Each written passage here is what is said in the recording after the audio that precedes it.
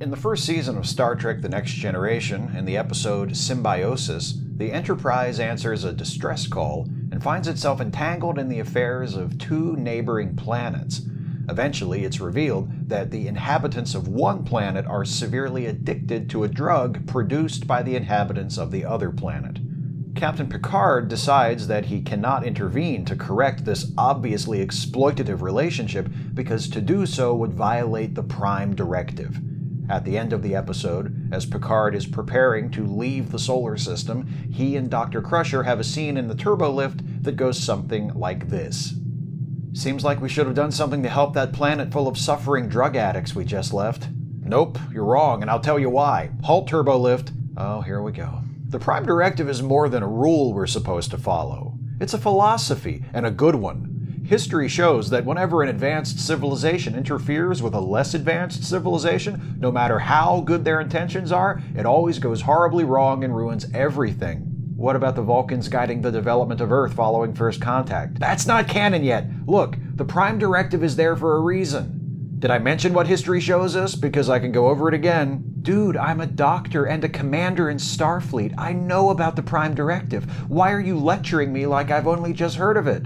I just think it sucks that we're leaving all those people to deal with the pain of their addiction and withdrawal. Yeah, well, we're leaving now and we're never coming back, so it's whatever. Resume turbolift. Oh, tell me you did not just resume turbolift your way out of a conversation with me. I think Picard is actually less condescending in my version.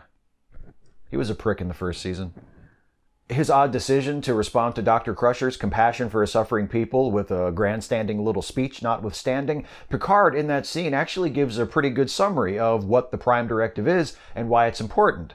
Unfortunately, the producers of Star Trek aren't always so clear and consistent when it comes to their depiction of Starfleet's General Order Number 1. That's why, despite how reasonable Picard makes it sound, I sometimes find myself questioning whether the Prime Directive is such a great thing after all. It's a question I'll explore a bit further in this video, which I'm calling Why the Prime Directive Might Actually Be a Terrible Rule. The concept of the Prime Directive was introduced in the classic Star Trek episode The Return of the Archons, where, in a sign of things to come, Captain Kirk violates it a few minutes after Spock mentions it for the first time. But Kirk had a good reason for violating the Prime Directive. Or at least he thought he did. And that's really the only reason the Prime Directive is there to force the captain to make a choice, to follow the rule, or to do what he knows in his heart is right. But it's not automatically a bad rule just because the captains have broken it a lot. In fact, as originally conceived, it's a pretty good rule. At least in theory. In Return of the Archons, Spock makes reference to the Prime Directive of non interference, and usually when a Star Trek character cites the Prime Directive, that's what they're talking about the general order that forbids Starfleet personnel from interfering in the internal affairs of other civilizations. That's a good rule, for the reasons Picard cites in Symbiosis. Meddling in the internal affairs of another society, no matter how well intentioned, almost always produces disastrous results. And this was more than an intellectual abstraction. Remember that the original Star Trek was produced during some of the bloodiest years of the Vietnam War, a period when more and more Americans were beginning to feel strongly that it was not the place of their country to try and dictate the affairs of other countries. The original Star Trek referenced Vietnam multiple times during its run. It's reasonable to assume there were at least a few writers on that show who wished the United States had its own prime directive and followed it. Unfortunately, the more we learn about Starfleet and how it operates, the more complicated and ethically dubious its commitment to the Prime Directive starts to seem. These complications really start to pile up in the Next Generation era, but they have their beginnings in Classic Trek. At some point, one of the writers or producers must have noticed that pledging to uphold a non interference principle is kind of an odd thing for people to do when their primary mission is to seek out new life and new civilizations, and you know the rest. So the meaning and application of the Prime Directive was tweaked a little to allow the crew of the Enterprise to do the thing that was the entire basis for their show. In the second season episode Bread and Circuses, Kirk and McCoy summarize the Prime Directive as demanding no identification of self or mission, no interference with the social development of said planet, no references to space or the fact that there are other worlds or more advanced civilizations. There you go. Visits are okay. Just try not to let them see you. Don't tell them who you are if they do see you. Don't mess with their society and keep your trap shut about outer space and aliens and stuff. How hard is that? Well, like I said, the complications kept piling up. In Star Trek The Next Generation, the observe but don't be observed interpretation of the Prime Directive was cited as justification for the Federation's use of holographically concealed duck blinds to do anthropological research on pre warp civilizations.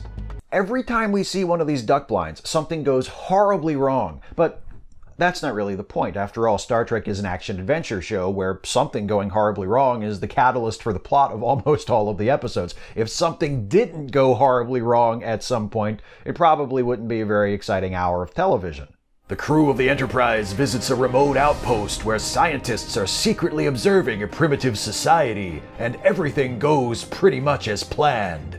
Don't miss the next exciting episode of Star Trek The Next Generation. The point is, studying less advanced civilizations in secret so as to avoid influencing the development of their society seems scientifically sound. The civilization being studied is allowed to develop without outside interference, and researchers are able to learn more about how societies grow and evolve. It's win win.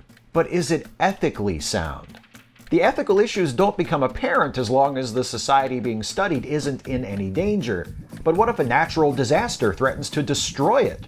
A disaster Starfleet can mitigate or even prevent entirely. Does following the Prime Directive mean allowing a society in such a predicament to suffer the disaster and possibly be destroyed?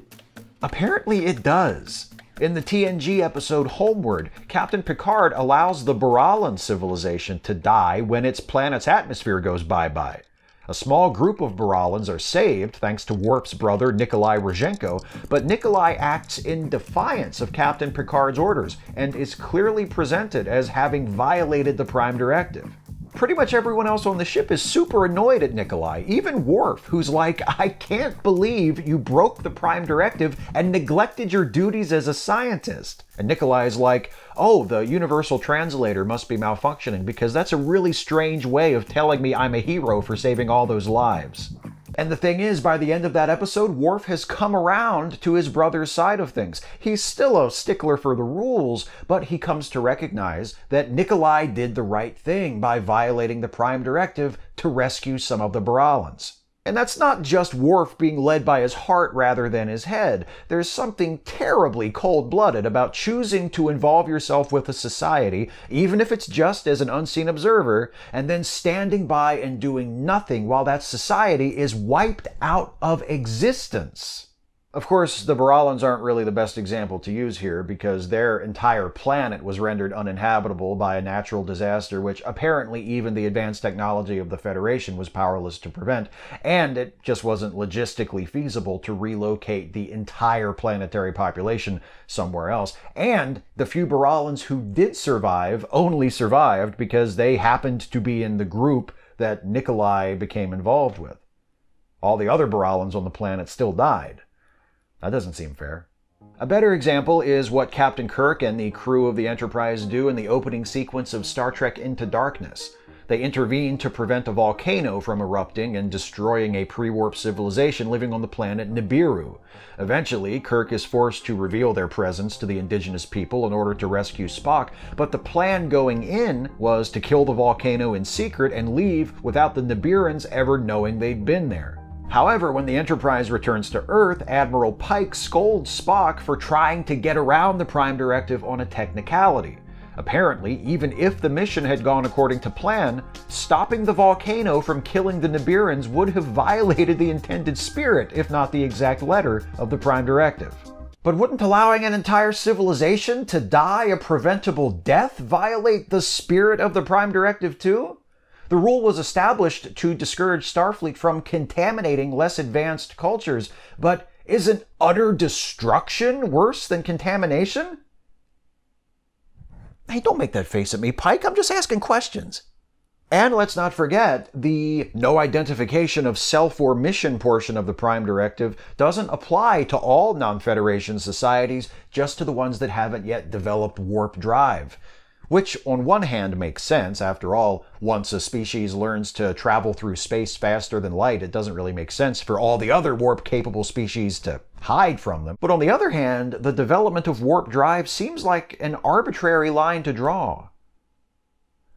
Dude, seriously, calm down. Stressing out like that'll put you in an early grave. As we know from Star Trek First Contact, the Vulcans revealed themselves to the people of Earth like a few minutes after Earth's first ever warp speed flight. And as we know from Enterprise, which begins about a hundred years after First Contact, the Vulcans took a very active role in guiding the development of Earth. And despite some understandable and possibly justified resentment on the part of some humans, it seems like that worked out pretty well for Earth. I should also mention that the Prime Directive doesn't stop the Federation government from meddling in the internal affairs of planets that fall under its jurisdiction. Remember the conflict with the Maquis? That rebellion of colonists along the border between Federation and Cardassian space that began because the Federation gave their planets away to the Cardassians?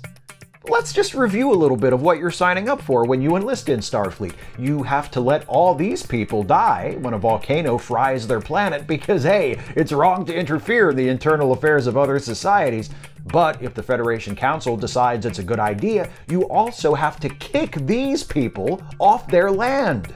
Do either of those things seem right? The legal and moral complexities that govern when to intervene in the affairs of another society and when to sit back and watch them all go extinct are touched on in several Star Trek episodes, but are never really explored in depth. And that's because the Prime Directive wasn't invented in order to allow the writers of Star Trek to interrogate the values of the Federation. It was invented in order to give the heroes a rule they had to decide either to follow or to break. Like many elements of the franchise, the Prime Directive started out as something relatively simple and grew into something almost incomprehensibly complicated due to the fact that people have been making Star Trek for over 50 years, and every writer has their own ideas about how tropes like the Prime Directive ought to be used in order to craft the best possible story. That's why, in some episodes, the Prime Directive is a rule that prevents the heroes from doing the right thing, which should obviously be broken. And in other episodes, it's a rule that reminds them that sometimes doing their duty as Starfleet officers means not being able to do what they think is the right thing. And sometimes it means letting millions of people die from a disease you have the cure for because, hey, we're not out here to play God. Isn't that right, Jonathan? I know, I know, technically the Prime Directive doesn't exist yet when that story takes place. Maybe Dear Doctor isn't so much the origin story for the Prime Directive, but the explanation for why the Prime Directive is so weird and inconsistent. Hey, yeah, that must be it. I guess it all boils down to this. Why might the Prime Directive actually be a terrible rule? Because it's vague and it's contradictory and it invites conflicting interpretations. The don't interfere in the internal affairs of another society bit is good the stand by and allow an entire civilization to perish from something you could prevent, even if you've been secretly observing that civilization for years, bit, not so much. This concludes my presentation. So, how many times have you broken the Prime Directive since we hung that planet full of drug addicts out to dry? Eight? Nine? Can we not do this first thing in the morning? What? I'm just wondering. Fine, you sit over there and wonder. I'll be over here eating my breakfast, assuming I can figure out how I'm supposed to eat this bizarre alien culinary monstrosity you made for me. Jean Luc, that's a waffle.